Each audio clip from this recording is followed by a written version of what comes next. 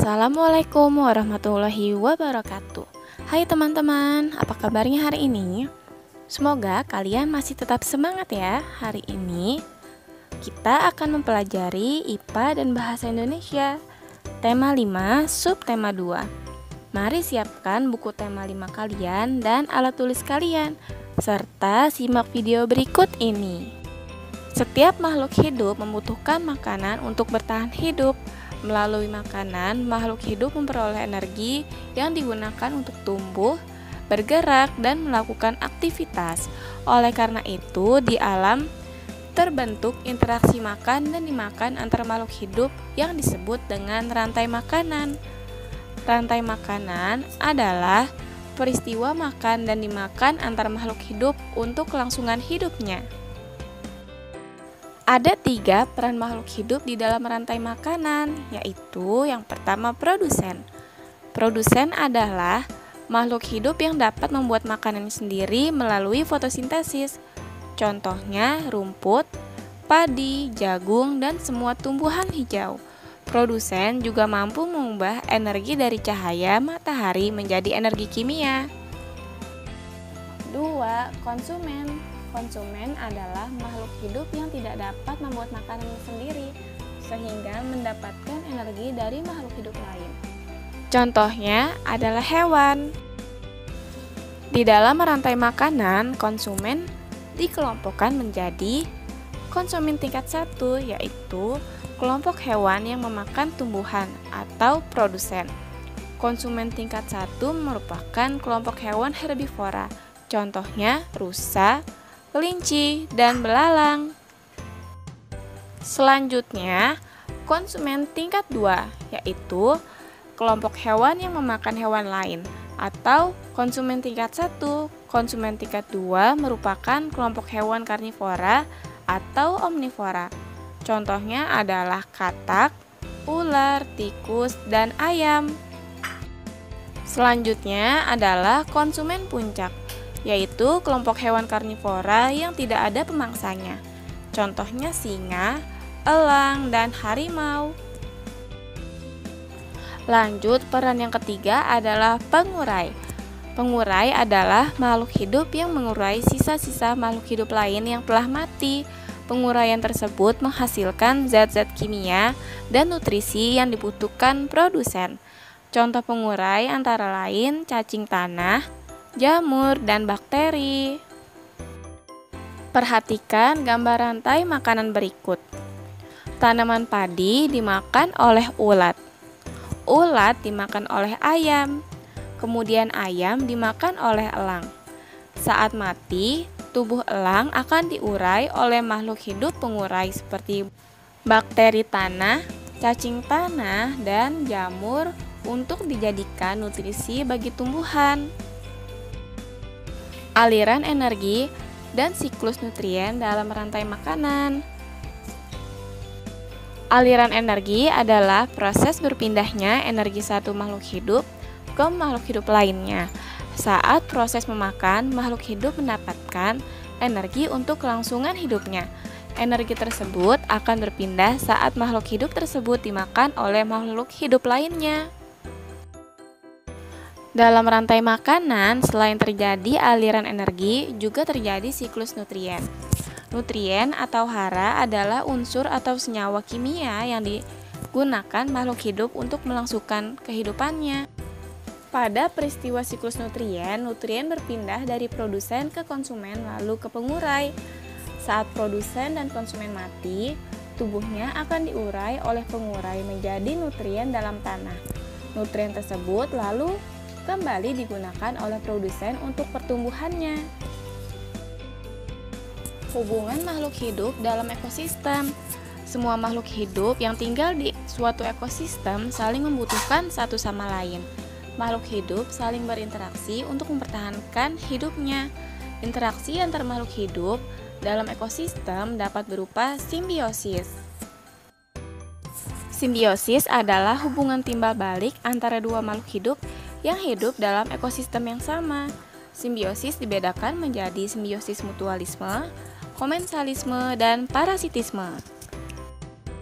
Yang pertama, simbiosis mutualisme, yaitu hubungan atau interaksi antara dua jenis makhluk hidup yang saling menguntungkan. Contohnya adalah bunga dan lebah.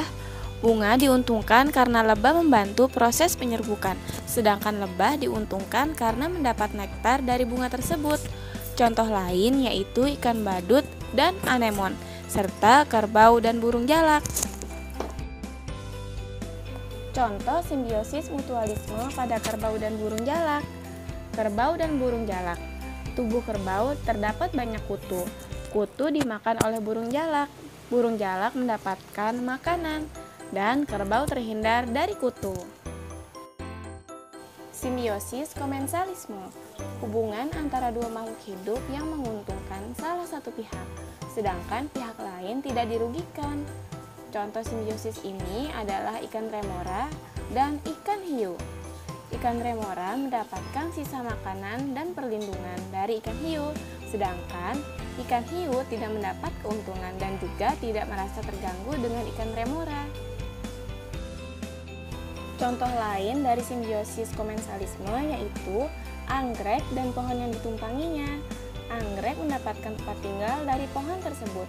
Namun, anggrek tidak mengambil makanan dari pohon tersebut sehingga pohon tersebut tidak dirugikan oleh anggrek. 3. Simbiosis parasitisme Simbiosis antara dua makhluk hidup yang menguntungkan salah satu pihak, namun merugikan pihak lain. Contoh simbiosis ini adalah nyamuk dan manusia. Nyamuk menghisap darah manusia. Nyamuk mendapatkan nutrisi, namun manusia menjadi gatal-gatal.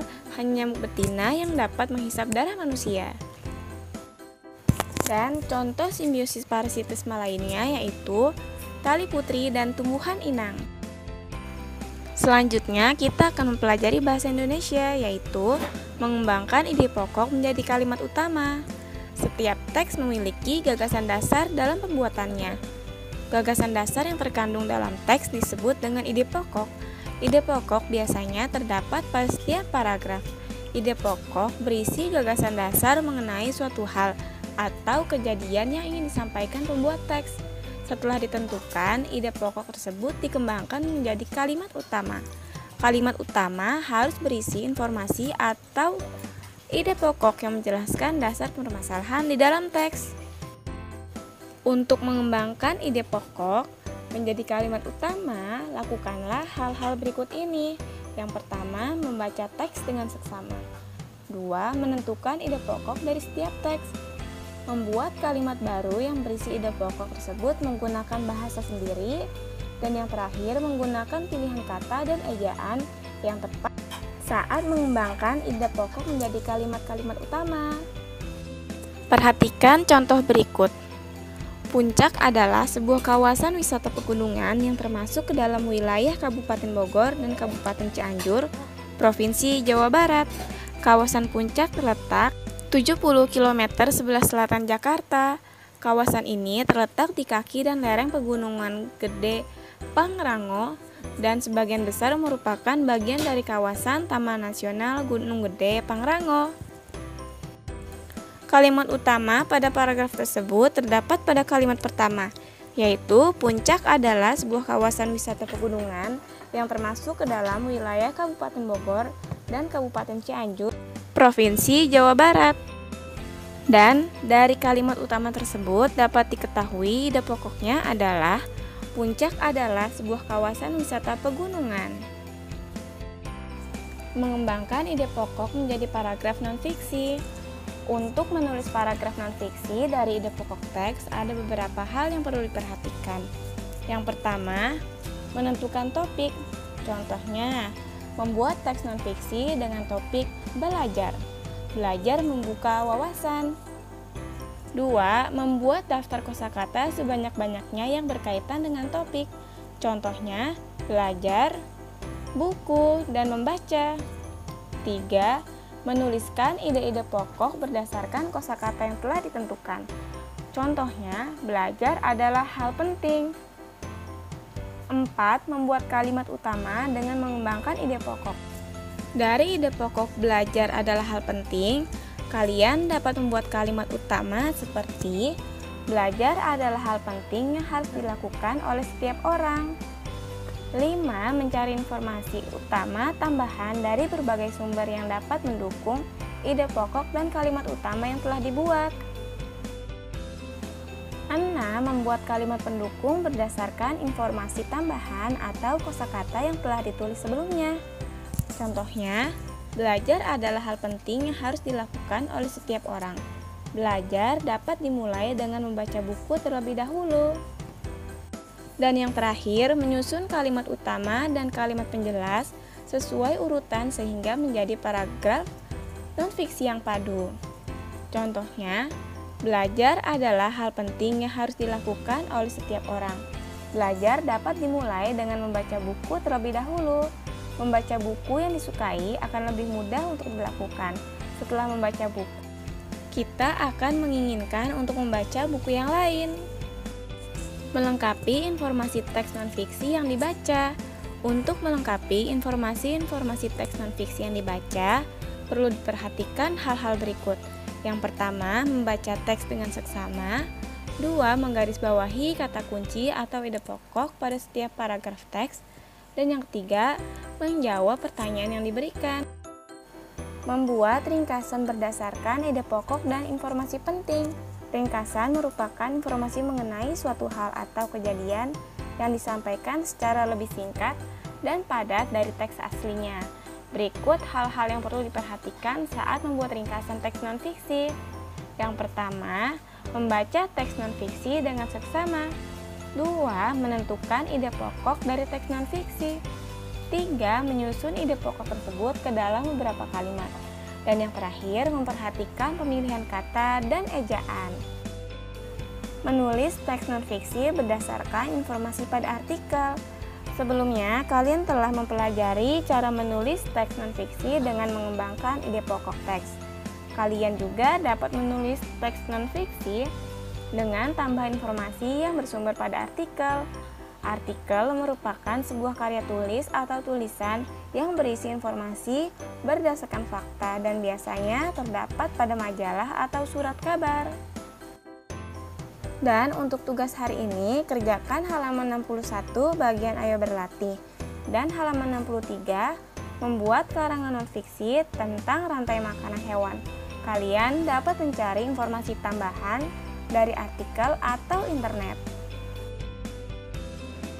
Selesai sudah pembelajaran hari ini, jangan lupa untuk selalu dibaca agar kalian tidak lupa dengan pembelajaran hari ini dan semoga pembelajaran hari ini bermanfaat untuk kalian semua. Tetap semangat. Terima kasih. Wassalamualaikum warahmatullahi wabarakatuh.